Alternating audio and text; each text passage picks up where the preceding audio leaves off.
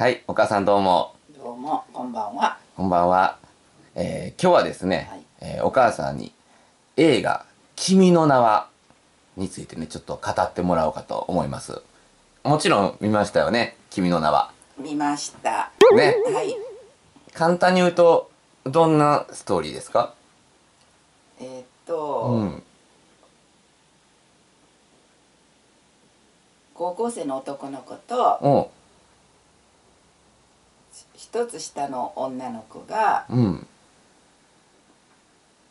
橋の上で出会った。いきなり？はい。いきなり出会ったの？いきなり出会った。だけど、うん。あのお互いに知らないから、うん。ただすれ違っただけその時は。ほうほうほうほうほうほうほう。うん。それで何ヶ月か経って、うん。その男の子がうん旅行に行ったの。うんうんうんうんそしたら、うん。あのその旅行先でうん。また女の子と出会って、そのこと？あその子と。また会ったんまた会った。めっちゃ合うやん。うん。んで「いや偶然やね」って言ってもう喋りかけたんや。うん。いやこ あのこの間の人をうんうんうんうん「ここが地元なの?」っていうふうに聞い男の子は女の子に。聞いた。うんうんうんうん。ただから「うん違うよ」って「うん。たまたま旅行に来たの」って。そのそう女の子も旅行に来てた。女の子も旅行で来てたってこと、うん。おお互い。お互いに、うん。ほんで「いや偶然やね」言って、うん。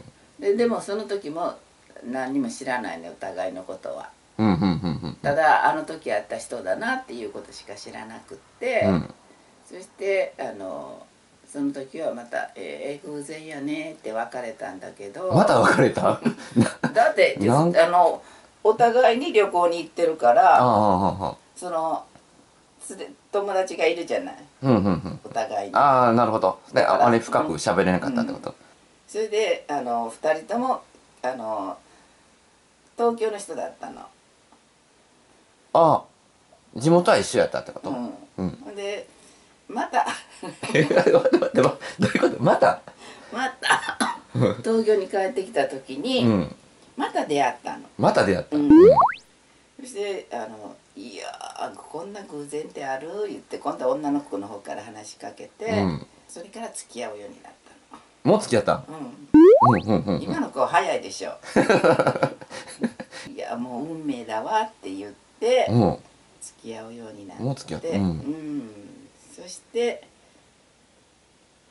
もう終わりになってもいい？え？もう事件も何も起こらずに。もうもうもう終わりなの？その映画。えでも盛り上がるとこが全然。でもそうやってあのその最初のけあの橋の上の景色とか、うん。旅行先の景色とか、うん。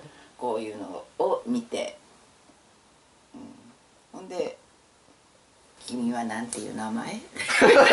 そこで」その3回目に会った時に。そこで言った？そこで言う付き合う時うに？んほん。でお互いに名前を言って、うん。で3回目で付き合うでしょ、うん。うん。そんな話。だからあんまり面白くなかった。面白い。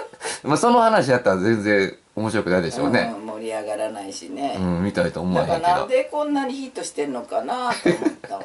わかりました。うん。君の名はっていうセリフが出てこないです出ねてこない、ね。ああなたなんて言うのって言った あそうなんですね。うん。じゃあわかりました。はい。ありがとうございます。はい。君の名を教えていただいて。はい。はい。ではどうもありがとうございました。ありがとうございました